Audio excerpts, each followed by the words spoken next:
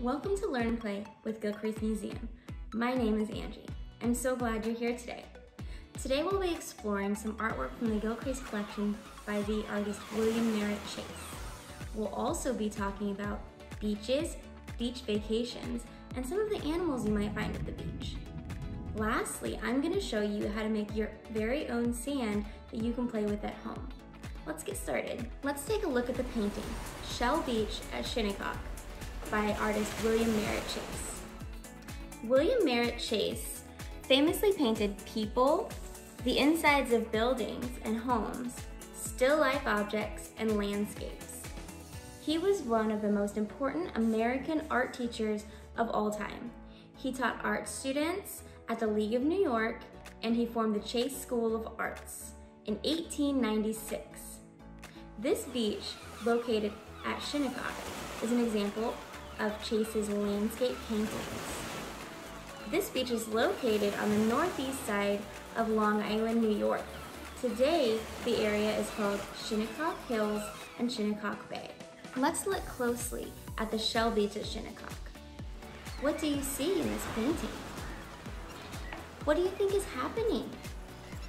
To me, it looks like there's a family enjoying a beach vacation.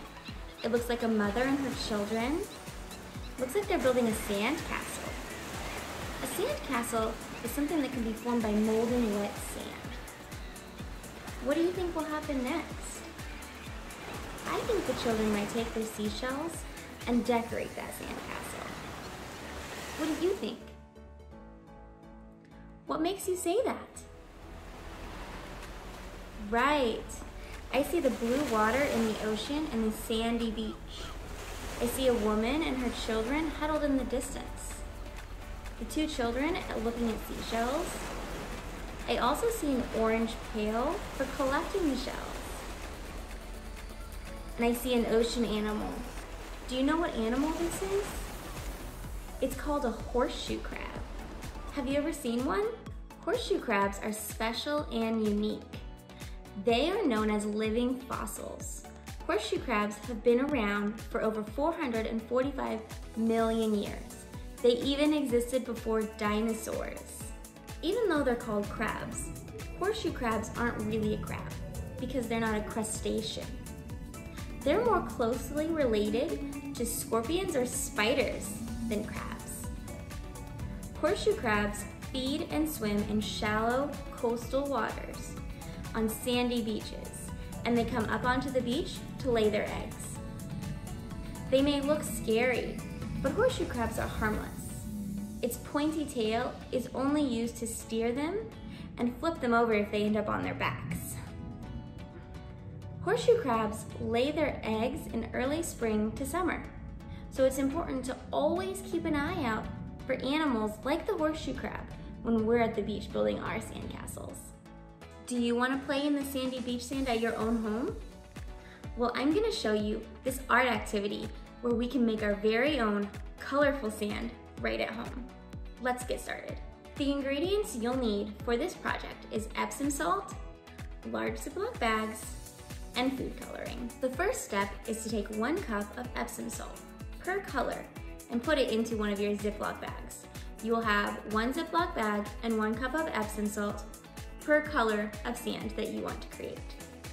Next, you'll take your food coloring and put a few droplets into each bag of each individual color that you want.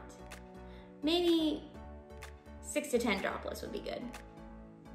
The next step is to use your hands to mold and squish that sand until all the color is going all throughout the sand. It'll start to color the sand as you squeeze and squish, and once it's all one color, then you know it's done. Finally, you're gonna leave the bags open and set them out so they can dry. If you don't dry the sand before you play, you might get a little bit of color on your hands. So make sure it's completely dry before playtime. The last step is to play. Once your sand is completely dry, you can pour it into a bin or a basin and then mix and play with your hands. You can use a shovel and dig toys out of the sand. You can bury some seashells and search for your own shells. Or you can add a tiny bit of water to your sand and make it moldable to make your very own sandcastles at home. Remember, if you want your colors to stay separate, you'll have to use a separate bin for each color. Otherwise, just mix it all and have a crazy colorful fun time. I hope you all have lots of fun playing with your sand at home. Thank you so much for being here with me today. We'll see you next time. Bye!